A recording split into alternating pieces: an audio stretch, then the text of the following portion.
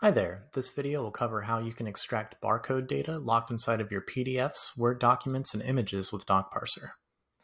After creating an account and uploading a document with a barcode, you will want to create barcode parsing rules. This process is simple. Navigate to the Rules tab in your parser. On the Rules page, click on Add Parsing Rule. On the Parsing Rule Presets page, scroll down and click on Barcode and QR Code under Advanced Parsing Rule Presets. The next page will show a render of your document.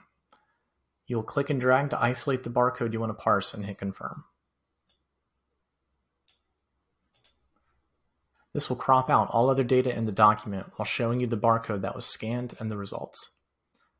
Lastly, you will give the parsing rule a name on the left side and click Save Parsing Rule at the bottom right.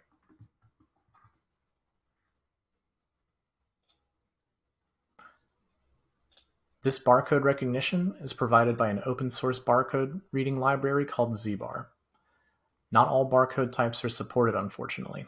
A link to this library's documentation, which includes barcode support, will be included in the description of this video. One thing to note is that our tool supports parsing multiple barcodes in a single rule, if you want it to. When creating a parsing rule, you'll simply isolate all of the desired bar barcodes when cropping out a selection field. If you have any questions about this functionality, please reach out to us at support at docparser.com.